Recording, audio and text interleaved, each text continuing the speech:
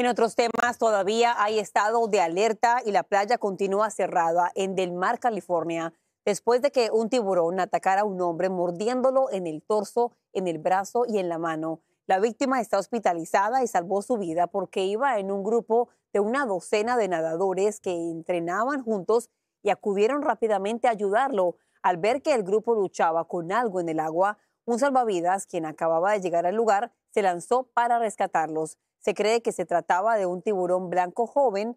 Ya hemos reportado por lo menos siete ataques de tiburones en el condado de San Diego durante los últimos 20 años. Y siempre la gente cuando piensa tiburones piensa rápidamente en California, sin embargo es el estado de la Florida el que cuenta con más ataques de tiburones, pero no es de preocuparse porque las posibilidades es una en casi 18 millones cuidado, pero no para estar más. Así es, así es. Y sobre todo en algún momento del año específicamente hay que estar mucho más alerta que en otros tiempos. Por ejemplo, verano es uno de esos momentos.